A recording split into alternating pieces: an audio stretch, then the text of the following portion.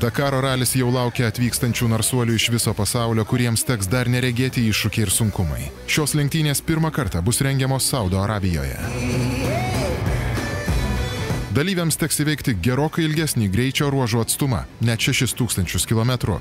Dvigubai daugiau nei 2019 metais.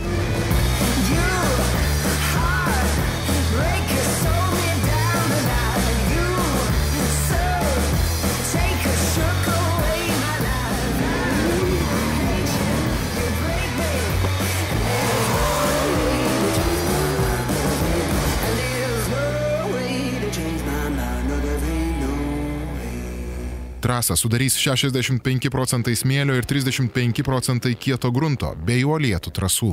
Lenktynininkams kasdien teks įveikti 500 km greičio ruožų.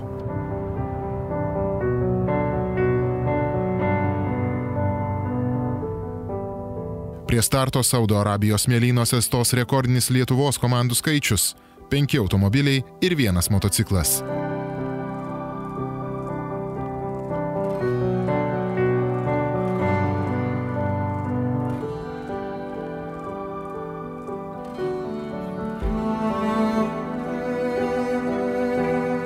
Dakaro ralio sąraše 351 transporto priemonė, 134 automobiliai, 170 motociklų ir keturačių bei 47 sunkvežimiai.